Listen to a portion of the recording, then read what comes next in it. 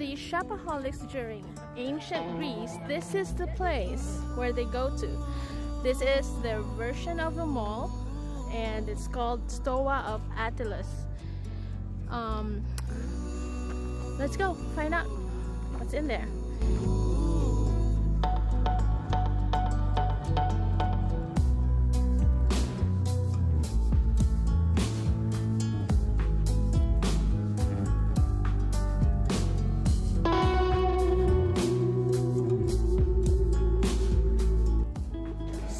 So this is a description of of Attalos.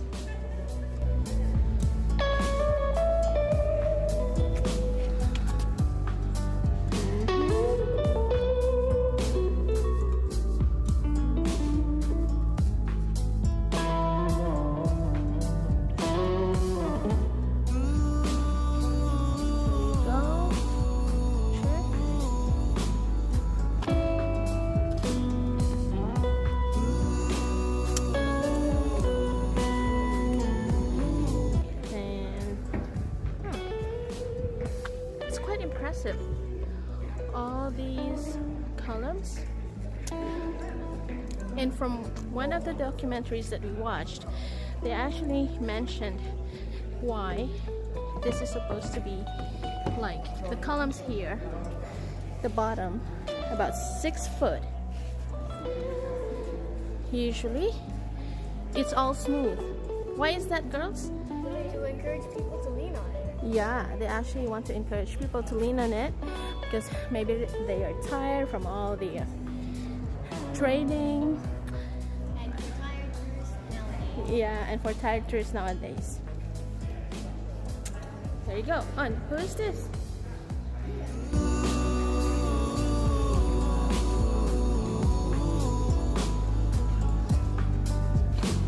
Oh, it is the cult statue of Apollo Patroos.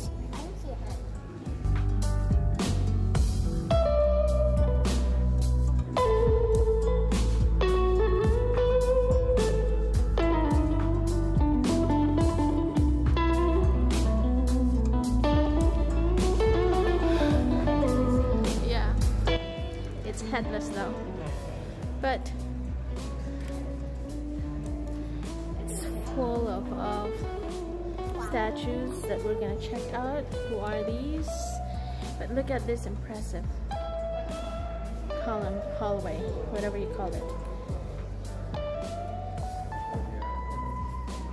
Okay, let's take a picture here.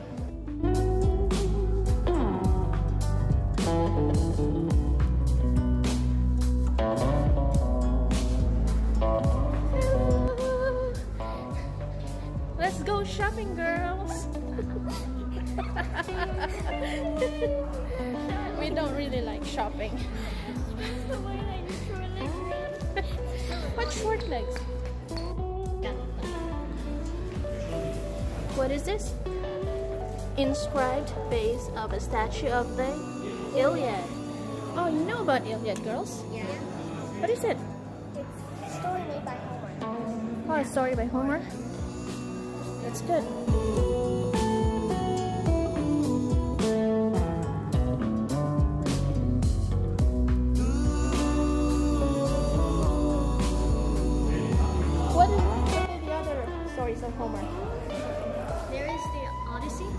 Yeah. And who is this? Statue of the personification of the Iliad. Personification. Is that a woman? Oh no, I don't think so. And this is, look, statue of the personification of Odyssey. We just mentioned it earlier. Oh, look. There's also words on it. Yeah, what could it be? Oh, look at this.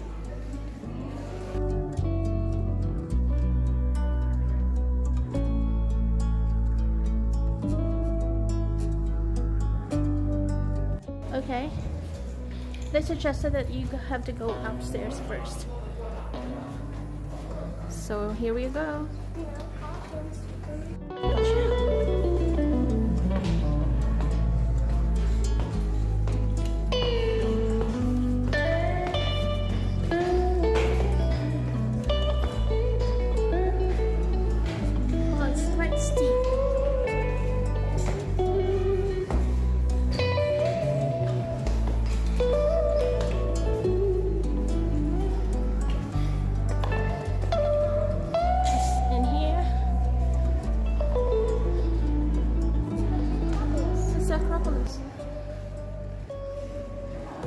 At this view, girls.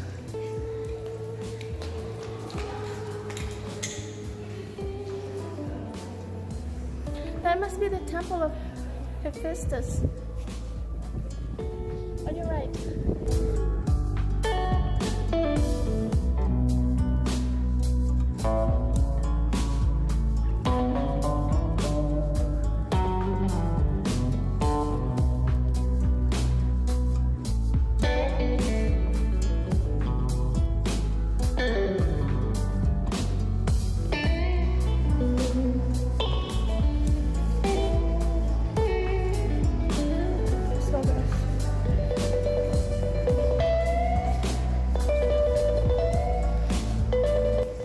Does it say?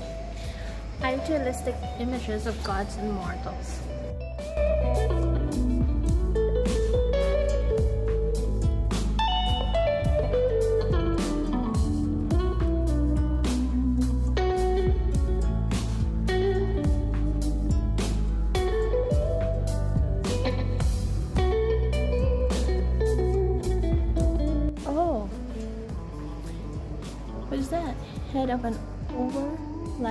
Statue of Demeter.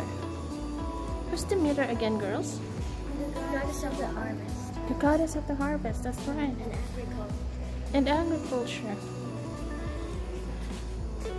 This torso of Artemis Fowl. I can't even pronounce that one.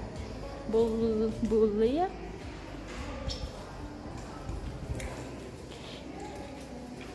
Oh, hello. Who are these? Oh, nobody specific. Just says head a youth, a youth, a young woman. Very small faces.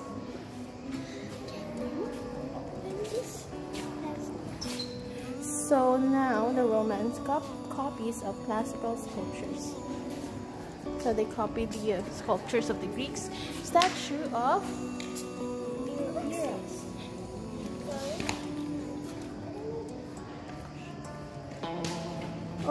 Oh, so cute is. Don't include the bottom part. So what does it do, girls? It makes people fall in love. Oh, he, make, he makes people fall in love. Not Aphrodite. Aphrodite sends it. Oh, Don't know if it's uh, if Aphrodite. okay. So head of a goddess, probably Persephone. And who is Persephone? The daughter of Demeter.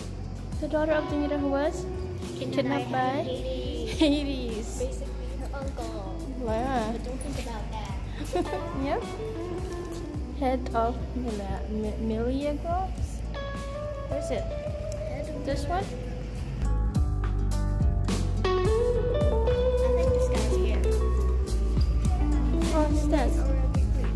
A god mysteries. Oh. Alexander the Great. It could be head of Alexander the Great or Eubulius. Uh, if that's how you pronounce it. Chin. What's up with his chin?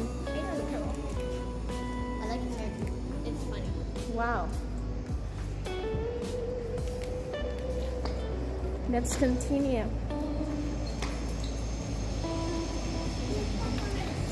No. This is the restoration of the Agora at its fullest development, 2nd century AD. Oh wow. Wow. Oh wow. It's a huge place. Where are we? So, what do we know ab- about the ancient Agora girls? It was once a marketplace. Marketplace. People from all over would come over and trade. then trade to do buy and sell. It was also a place for democracy. Uh-huh. Political discourse, everything. Everything happens here. It was basically the center. The center of everything of Athens.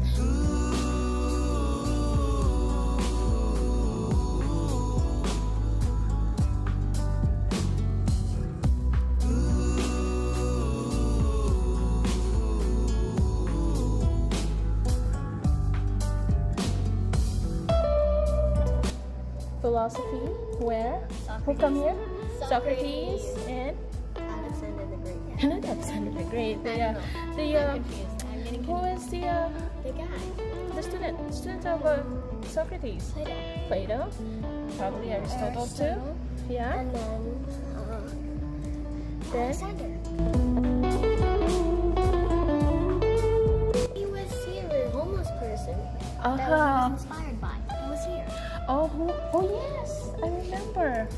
The uh, philosopher, the other philosopher named um, Diogenes, Diogenes, Diogenes, who Lived in a barrel. lived in a wooden barrel. Tiny people. And what was the funny story? Alexander the Great was so impressed by him, and then he went to see Diogenes. Diogenes. He said, I'll, whatever you want, I'll give you. hmm And the guy said, get out of my sunlight. please." Yeah, that's all he wanted. He didn't want anything from Alexander the Great, who, who was willing to give him anything that he wanted at that time. Please get out of my Yeah, sunlight. Just get out of my sunlight. He was disturbing his sunlight thing, sunbathing. Get out of my sunlight. yeah, so he wanted to live a very simple life. Look at all these tiny people. So next one would be the wealthy Athenian citizens, represented according to the imperial prototypes. Let's see. Who are these wealthy Athenians? His face is flat and he has big Okay. eyes. Is that portrait head of Triad? He wears. What's he? Oh, I thought it was a she. And this one, he looks angry. It's portrait of Aelius Verus. Um, okay, we're not very familiar with this. Caesar. He was Caesar. He was Caesar? Yes, Caesar. Let me see. What does it say? Do not cover. Aelius Verus was Caesar. Oh, not the uh, Julius Caesar, but adopted, adopted as Emperor Hadrian. He died too soon to succeed. Oh, too bad. He died too soon.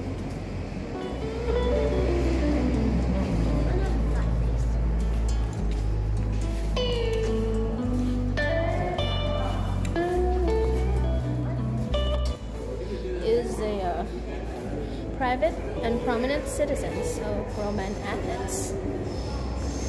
Who are these people? Head of an Um,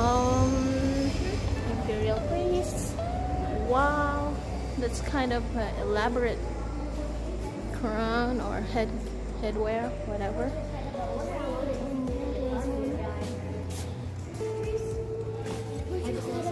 We, we should really uh, study this Eleusinian mysteries, girls. I don't know about this. Let's find out what are those mysteries.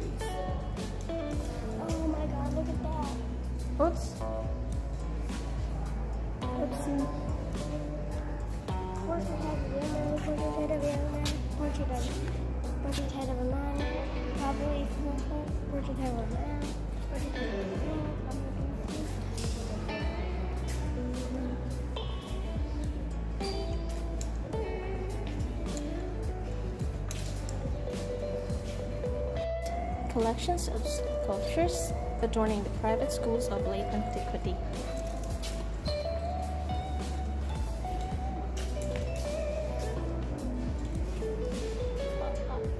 Oh, statue of youthful Hermes. Who's Hermes girls? messenger god. The messenger god.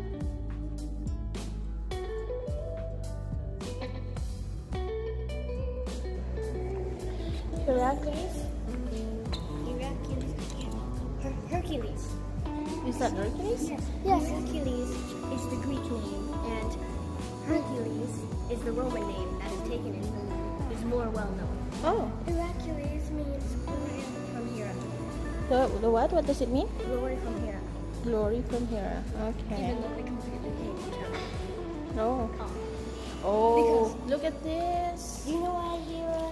Statue of Athena. Do you know why Hera hates Hercules? Why?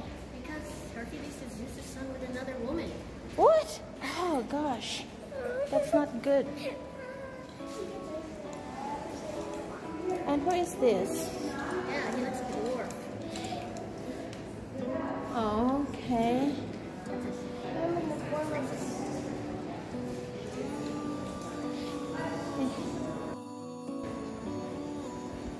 So, who is this? Head of a goddess, probably Nemesis. Nemesis is the god, the goddess Uh-huh. of revenge. Of revenge. She appears in the form, well, she's kind of like Aphrodite. She, she appears in the form of the person who hate most. Wow. And who is this? That is the sun god Helios. Helios. It's supposed to be a titan, the person who drives the sun chariot around the sky. It's not Apollo. Apollo's mistaken for that a lot. Oh. But Apollo replaced the sun god Oh. because everyone said he was so shiny. So shiny, shiny, shimmering, splendid.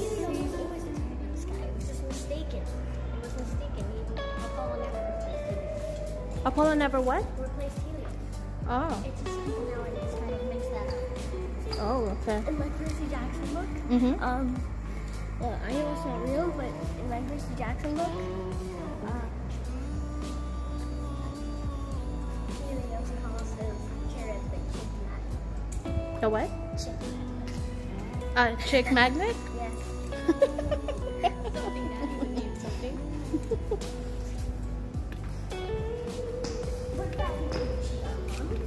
Ah, this is a agora. Some kind of a blueprint or something.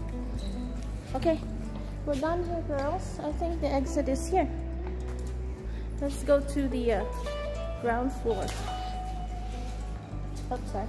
So actually, here in Greece, their first floor they call it ground floor, and their second floor they call it first floor. First. Yep. Yeah, especially when you're in the elevator. Wow. Okay, let's go to, to the ground floor.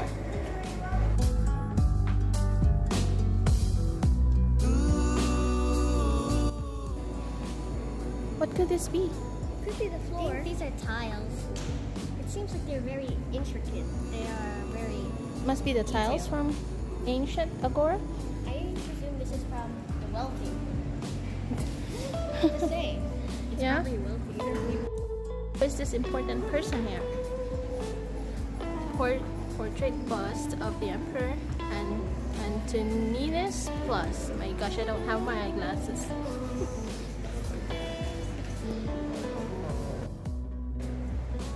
this the statue of Themis. Who is that? It's a titan. It's a titan?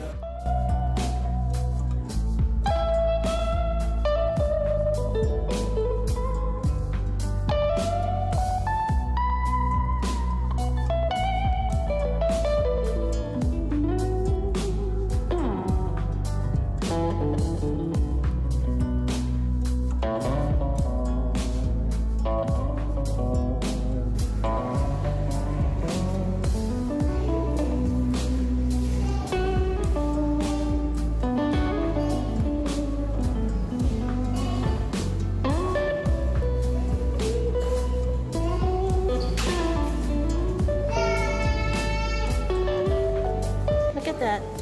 The household pottery, cooking devices. Grill. Is this a grill? No, that's not the grill. This is the grill. That is the oven. Yeah, and that's the grill. Oh, this is this is also a grill. Yeah. They have grills. So they can just they can make the goddess some barbecue. There's another grill here. Yep. They do barbecue in ancient Greece. Because their gods love them. Everybody loves barbecue. Yeah. Okay, this is the clepsydra or the water clock. What do you know about the water clock? Hmm? I can't see. I can't see here. Let's focus here. Okay. Oh, they time it. The speeches of famous orators, they have to time it. Yeah. They use the water clock. That's why it's called a clock. They put water in there. And Mhm. then when they allow the person to make a speech, and they don't, they don't uh, uh, continue after all the water is drained. Oh, okay. Okay, next is the bronze Spartan shield loot from the Battle of Pylos. Ooh, This shield gave the Spartans an upper hand in the war. in the war? Why? It's because most of the enemies relied on projectiles. Okay. That looks very heavy I know. And big. See? Compared to your sizes. And let's see. This is Sparta! Next would be the equipment from the law courts. Courts, classical and Hellenic period. This is actually their voting machine before. And right? the way to vote people in, democracy stuff, and out. Yeah. And to get their so-called tyrants Uh-huh. out of the country and be exiled. Oh, so they vote because Greece is the birthplace of democracy, Yeah. especially in ancient agora, where they discuss, they vote, and they put the names of these uh, whoever they're voting for or against, and they put it in there, and they count it, right? Yeah. And um, The decision is made, as you Uh-huh. can probably presume, by whoever gets the most vo- votes. oh, okay. To be kicked out or to be put in. Oh, okay. Let me see. Let me take a picture of that description there if it's um, clear enough.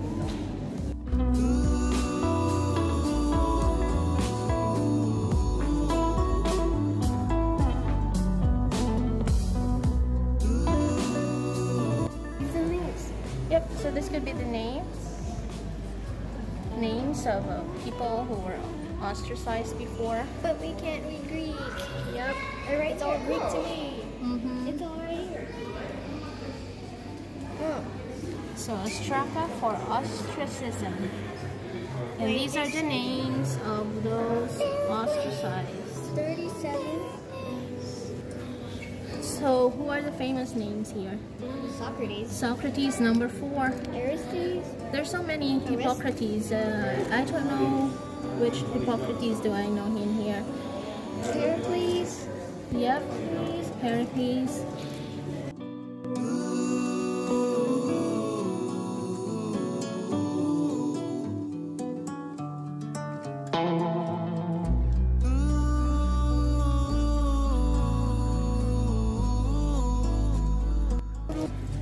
This one really looks interesting. Pottery from Wales. Da-da-da. What could this be? It's, it's like pottery for little babies. It is what toilet seat for the babies. Wow.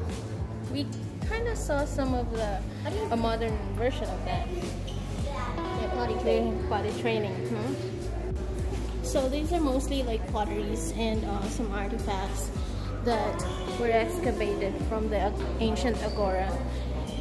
And they put this little museum to showcase everything that they could find. What are these? Golden rosette ornamental shroud. So that is a restoration of the chamber tomb.